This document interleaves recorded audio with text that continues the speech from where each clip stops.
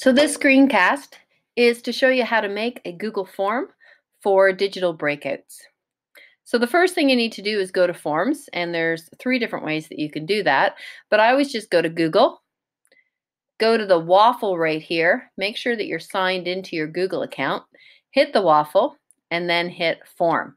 And if Form isn't readily available, just scroll down. It's probably down here somewhere, and you can pull these things around so that you have them in any order you want. Once you click on Form, it'll bring you to this screen here. And on the far left, you want to click Blank Start a New Form.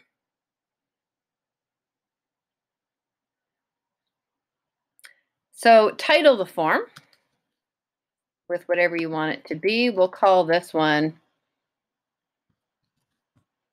Breakout Example.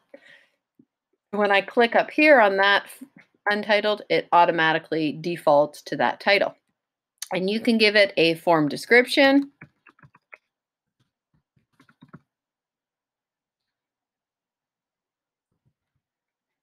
All right, so with your first question, you want to make sure that the questions are always short answer. So click on short answer. And down here, you'll see that it says required. It's must be required. Okay, so the, for the first question, let's make it a digit lock. Why don't we just make it a three-digit lock? Three-digit lock. So here, under response validation, you're going to click number. And then you're going to put equal to and then put whatever the answer is. So let's call it one, two, three. And then you have to enter a custom error text. If you don't enter a custom error text, it's going to default to the answer must contain one, two, three, which sort of messes up your lock. So here you're going to put in, now you can put in keep trying, or if you want to, you can always put another clue in the response validation. All right, there you go. Now we're going to add another question.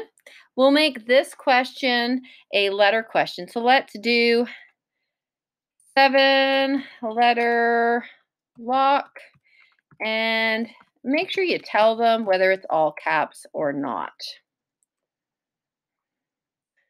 So let's do a seven letter lock. It's going to be short answer. It's going to be required. Make sure that you've got this required on right here. Make sure you have response validation on. And here you're going to put text. And then you're going to put contains. And then put your answer, whatever it is. And then you can put your response validation, which I'm going to put still locked for this one. And that's how you make a form. Now, if you want to, you can also change the background in this. So you'll notice the little palette gives you different color options. And this one down here gives you even more that you can put in. So you can choose a different background if you want to. So the little eye gives shows me what it's going to look like. So I can double check that it will work. If I put the wrong one in, You'll notice it says keep trying. And down here, if I put it and I don't put it in all caps, there you go, that's what it's going to look like. So again, I got to that one by hitting the preview button, which is the eye. Okay, now the other thing that you can do is go into the settings and you can decide if you're going to collect their email addresses. I always collect the email addresses because then I know which team broke out first. And you can restrict it to LKDSB. You can limit it to one response. I wouldn't recommend you allow them to edit it. So you might want to make one of the questions. I forgot to mention this. Your team name. And then just leave that one as required and short answer. And then that helps them or helps you find out who actually won. Okay? And that's how you make a Google form. Thank you.